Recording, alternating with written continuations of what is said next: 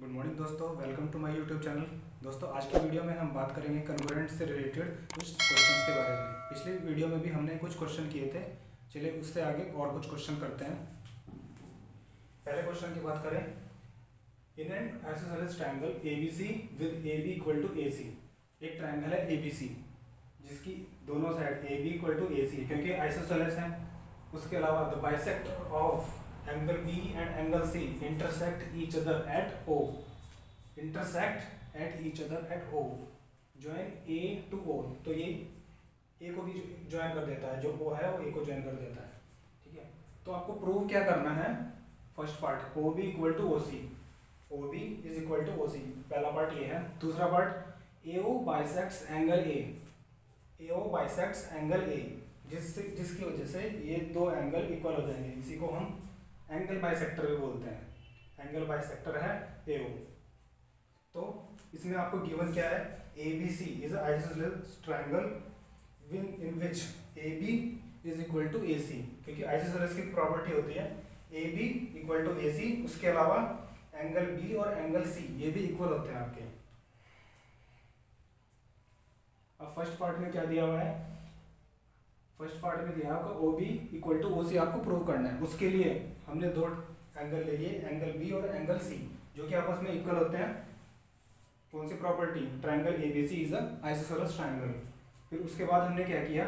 जो इसके हाफ़ है हाफ़ दिए हुए हैं, जो क्वेश्चन में दिए हुए हैं। एंगल बी और एंगल सी जो बाइसेक्टर है, एक तरीके से तो उनके हाफ़ लेंगे हम तो ये दो एंगल आ जाएँगे हमारे पास। Angle O B C angle O और एंगल ओ ये दो एंगल आ जाएँगे, एंगल बाई सेक्टर्स ठीक है?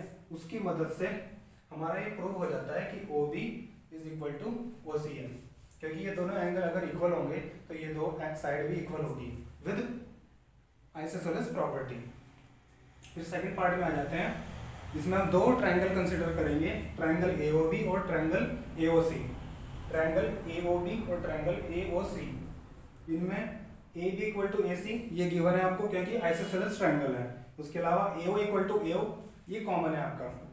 उसके बाद O B equal to O C ये हमने अभी प्रूव किया है जस्ट उसके अलावा तो ये तीनों की तीनों साइड इसके अंदर आ जाती है।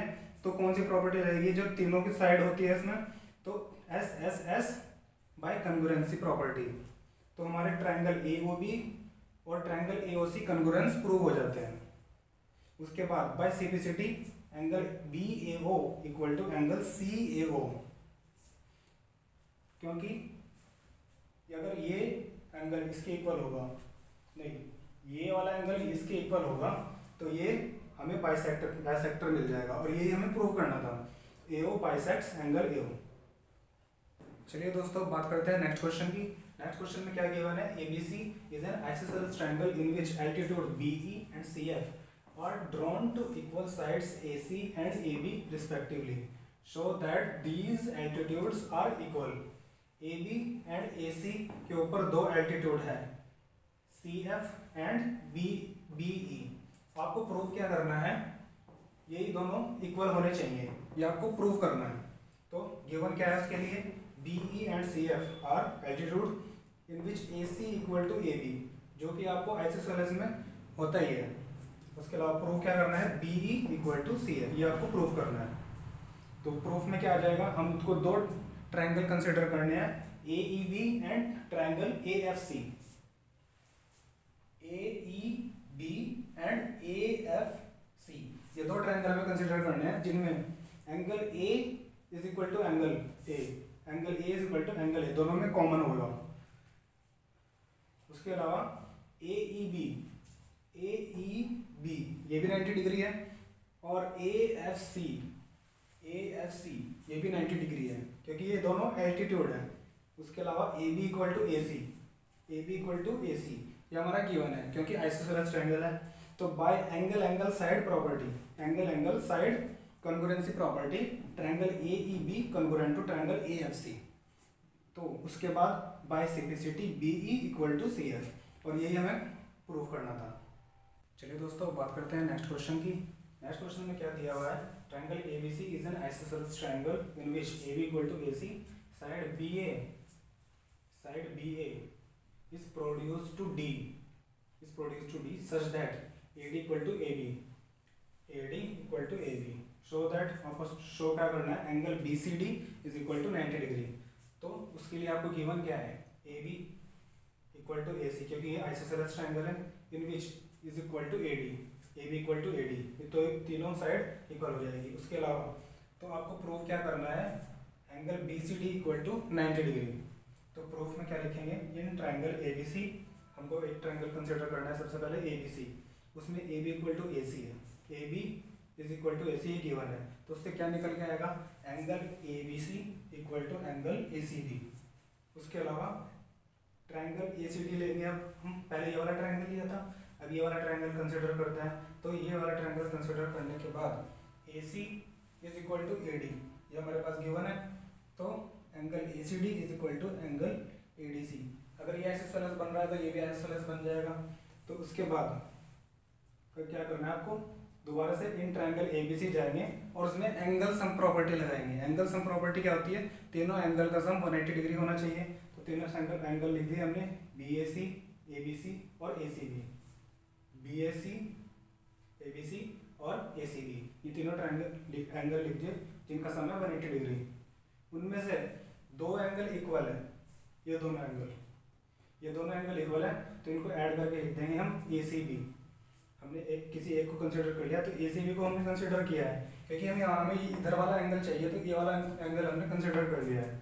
तो इसको हम मान लेंगे फ़र्स्ट इक्वेशन सिमिलरली इस ट्रायंगल में भी वही प्रॉपर्टी लगाएँगे तो हमारे पास ही आ जाएगा conclusion C A D plus twice of angle A C D twice of angle A C D अब दोनों एंगल इधर का भी आ गया, इधर का भी आ गया।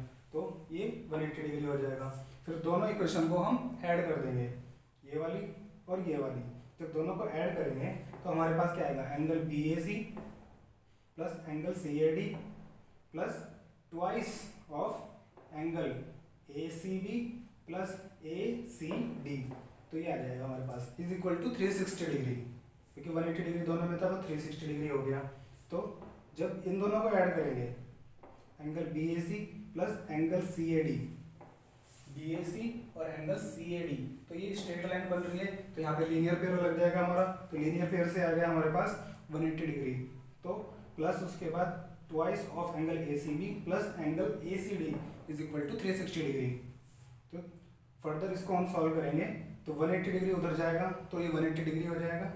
और twice of angle A C B plus angle A C D फिर उसके बाद टू से वन एट्टी डिग्री डिवाइड हो जाएगा तो इधर बचेगा नाइन्टी डिग्री और ये आ जाएगा आपका angle A C B plus angle A C D angle A C B plus angle A C D अब यही बचा है आपके पास, और यही नाइन्टी डिग्री के इक्वल है। तो इन दोनों एंगल को मिला के क्या बनता है?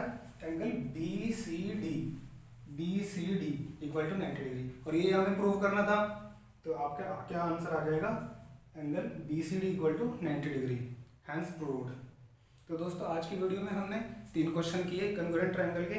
अगली वीडियो में और कुछ क्वेश्चन करेंगे तो आज के लिए धन्यवाद। दोस्तों, अगर आपको वीडियो पसंद आई तो लाइक करें, ज़्यादा से ज़्यादा शेयर करें और मेरे चैनल को सब्सक्राइब करें।